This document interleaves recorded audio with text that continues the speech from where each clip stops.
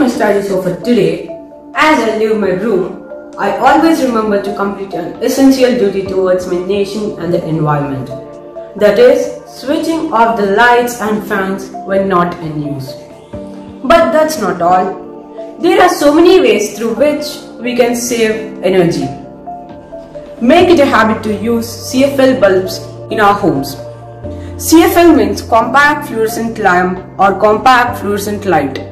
It is an energy saving light which is designed to replace an incandescent bulb. In our homes, we have made it habit to use CFL bulbs only.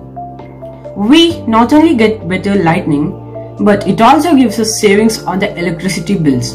Make it a point to use stairs instead of lift.